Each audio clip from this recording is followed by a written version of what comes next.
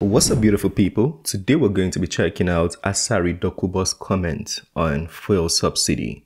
Let's get to it. So for me, this is one of the biggest steps. Like I said, I've always said, me, I don't, I'm not apologetic. Mm-hmm. I said, if Ahmed Bola Tinubu fails, hold me responsible, because I have known him since 1992, and I know what he stands for.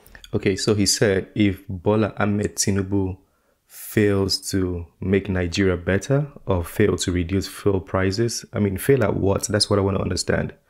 He said we should hold him responsible. So we're going to, and we need to know what he's actually saying. So let's take it back. Careful, guys. I don't, I'm not apologetic. Mm-hmm. I said if Ahmed Bola Tinubu fails, hold me responsible. All right, we will. Because I have known him since 1992 mm-hmm. and I know what he stands for and I can stand in the gap between him and the people and say this thing. This is a step that my brother Goodluck failed to take, even when he had uh, the opportunity. This is a step that, after talking no uh, subsidy, General Muhammad Buhari was not able to take. Ahmed Bola Tinubu took it from the first day. He said he was going to hit the ground running. Now you take about 8 trillion naira every year this is wickedness. And you give, you use it to service the gluttonous appetite of a few people. I like they, the expression on his face. They, they, they, they shout because they have the cameras like I have today. So they set the agenda for the people why the people are suffering. I believe that the 8 trillion, about 10 billion dollars, will, will change the fortunes of education, will change the fortunes of health, will change the fortunes of agriculture and road transport. So that's the point there. I don't think people are concerned about I mean, people are concerned about the subsidy and the high price of fuel. People are concerned about that. But what people are more concerned about is if this money is being kept aside, what is it going to be used for? Or are they just going to steal it like a lot of the government officials have been doing over the years? That's what I think people are concerned about. What I am opposed to is for NLC, NUPENG, and others to go and to say these people do not constitute even 1% of the population of this country. Mm-hmm. That palliatives should be given to them. If palliatives are given to NLC, to NUPENG, to PENGASSAN, to ASUU, to ASUP, what of the ordinary people who are not employed, who are not represented, who are toiling day and night? Why should there be a, a, a discrimination? This country belongs to all of us.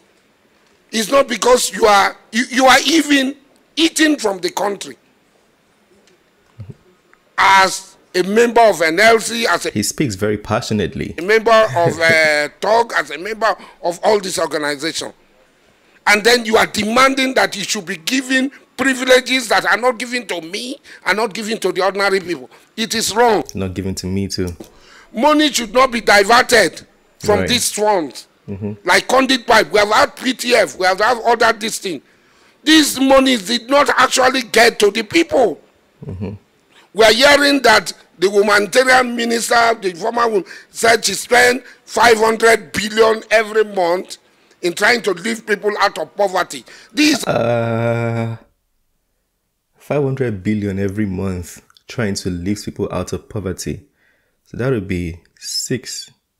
I'm making a calculation, right? Six trillion in a year and more people are even in poverty now. I was hearing 70% of Nigerians are in poverty. 70%.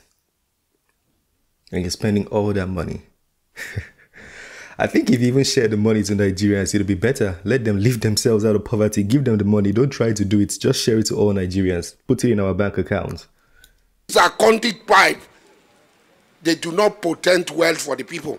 What we are demanding is this this money should be directed to the people, directly to the people, to education, to health, mm-hmm. to agriculture, to fixing our road and our railway so that and to paying our loans to China so that we don't wake up one day for China to come to come and fight us. Everybody's so we don't wake up one morning for that. China to come and fight us. The money should be channeled in paying up our debt.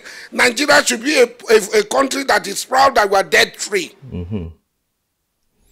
Yeah, actually, debt is not a bad thing, depending on how you see it. You know, America is in like 18 trillion dollars in debt, so debt is not always a bad thing. But I get what he meant. You know, I get what he was trying to say there. Um, Asari Dokubo, I don't know him per se, but I know of him since I was a child, probably like nine, 10 years old. I used to hear his name in conversations. And what I can, or what I took of those conversations was that he is a man of authority and a man that will go the extra mile to make sure everything he says stands. Now, whether you like him or not, that's a good feature to have as a man. I'm not here trying to praise him or trying to say, um, I'm a fan of Asari Dokubo. I, I really don't know him. This is probably like the first clip of me seeing him. But what I'm going to say is he's made very valid points in that video. He said some things that are vital.